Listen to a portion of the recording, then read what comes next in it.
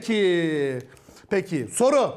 Robert Koleji hangisine aittir? İngiltere, Fransa, İtalya, Belçika, Hollanda. Atış serbest.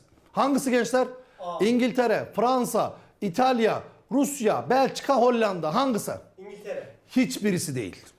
Hiçbirisi değil. Robert Koleji Amerika'nındır. Tamam? Genel kültür olsun. Yani illa her zaman doğru cevap vereceğim diye bir kaide yoktur. Abim öğrenci işi bu. Böyle öğreneceksin. Ben bunu sınıfta da soruyorum mesela. Gençlere soruyorum. Diyorum ki İngilizceniz nasıl diyorum? Harika diyor. Diyorum ki peki diyorum Amerika'nın başkenti New York mu yoksa New York City mi diyorum? Hemen cevap veriyor. Tabii ki New York City diyor. Ben de diyorum ki ona abim aksanın, grammerin, fonetiğin mükemmel ama genel kültürün berbat. Çünkü Amerika'nın başkenti Washington DC. Dediğim zaman ha ya diyor. Yani soruyu sorun tamam mı cevap vermeyin. Karşı tarafı yoklarsınız böylece tamam.